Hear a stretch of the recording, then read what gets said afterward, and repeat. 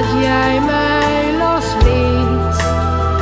Die vergeet ik echt nooit meer. Heb jouw lichaampje ver.